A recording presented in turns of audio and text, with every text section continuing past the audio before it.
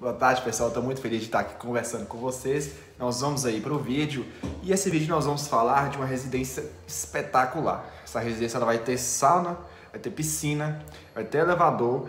A gente mudou o elevador dela agora, já passou um tempo. Na hora do vídeo, estava falando que ia ser uma plataforma elevatória, mas não vai ser. Vai ser um elevador da ThyssenKrupp. Ela vai ter também muro de arrimo, nós vamos falar muito desse vídeo, dessa questão do muro de arrimo, e tem também a questão da terraplanagem, né? Porque aqui no caso tem uma parte da obra que é mais alta e tem uma parte da obra que é mais baixa devido à rua, e aí nós estávamos falando sobre alinhar a obra no meio né, dessa, dessa inclinação, dessas inclinações. Então nós vamos falar muito desse vídeo aí. Então roda a vinheta, que nós vamos ver muito mais sobre ele. E lembrando que nós fizemos muitos outros vídeos, essa obra já está na parte da laje, e nós vamos soltar todos esses vídeos aí para vocês. Abraço!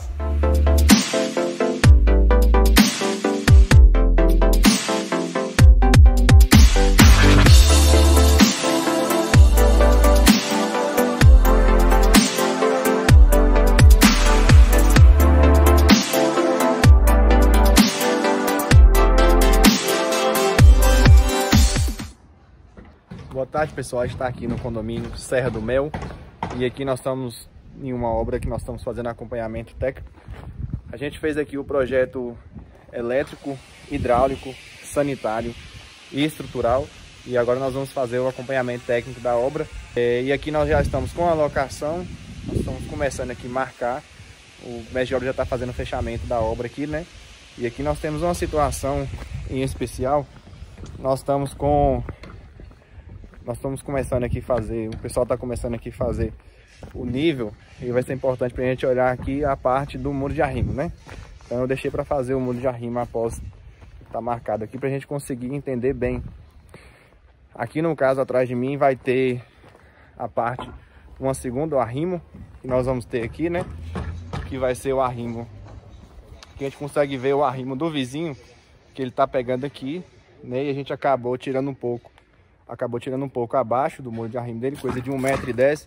E nós vamos fazer um muro de arrimo e também nós vamos impermeabilizar, tendo em vista que aqui desse lado pode ser que seja um jardim, a casa não está pronta ainda.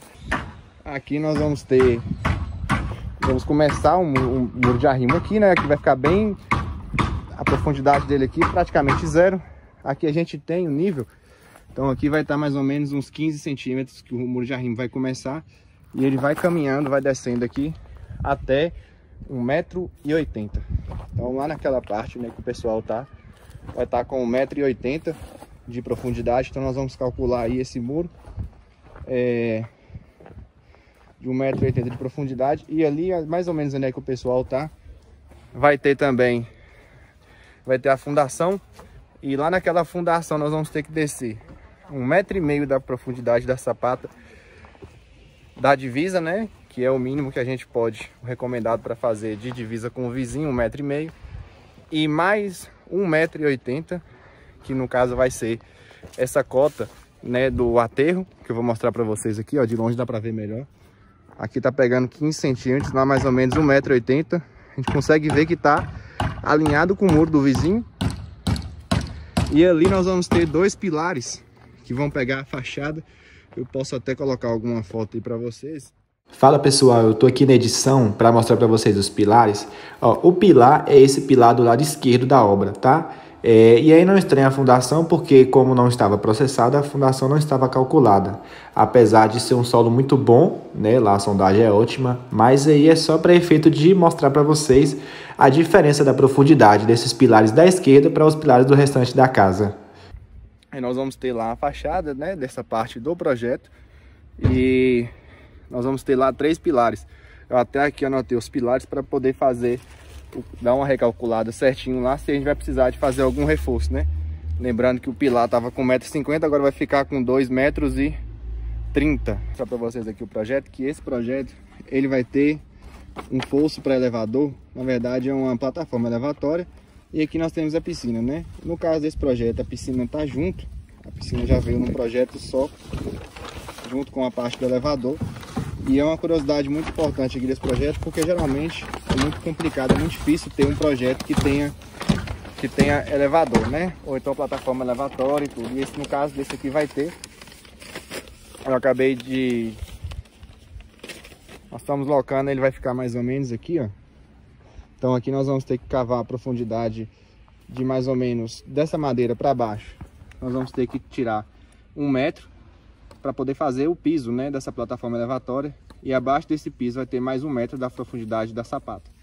Nós vamos ter que fazer aqui uma profundidade dessa escavação de 2 metros, 2 metros não, 1,90m, né? Porque já tem 10 centímetros aqui, então 1,90m. Agora aqui na frente, como é um terreno que está numa rua inclinada, tem um grande problema, porque o que acontece?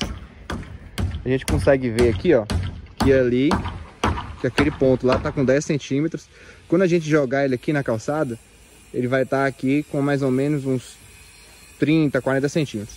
Só que lá do outro lado, a gente vai estar tá com um desnível de mais ou menos 80, né?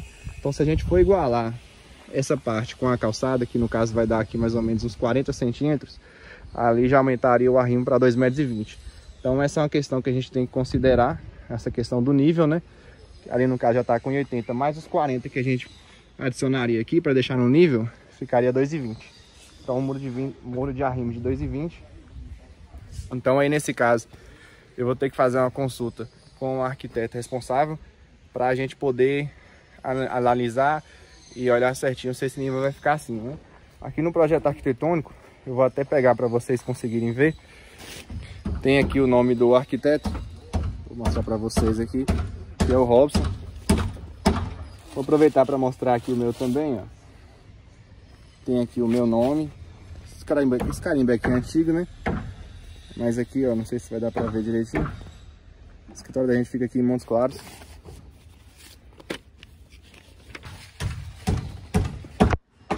É aqui, ó, na verdade aqui vai ter um jardim, vai ter uma entrada aqui para a parte do fundo e a casa vai estar tá entrando, a entrada da casa vai estar exatamente no alinhamento do asfalto com a casa, né?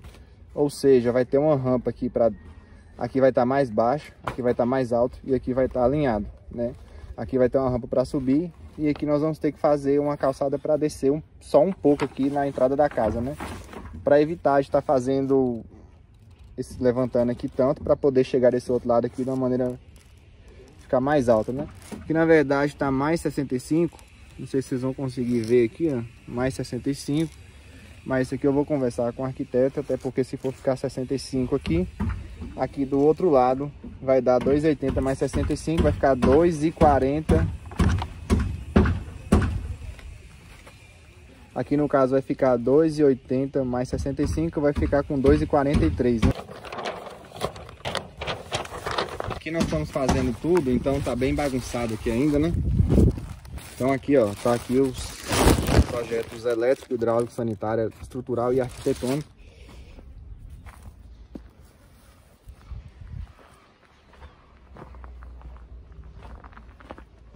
Tem mais aí? E é isso aí, pessoal. Agora nós vamos finalizar aqui e nós vamos estar acompanhando. Nós vamos estar acompanhando aqui direto essa obra.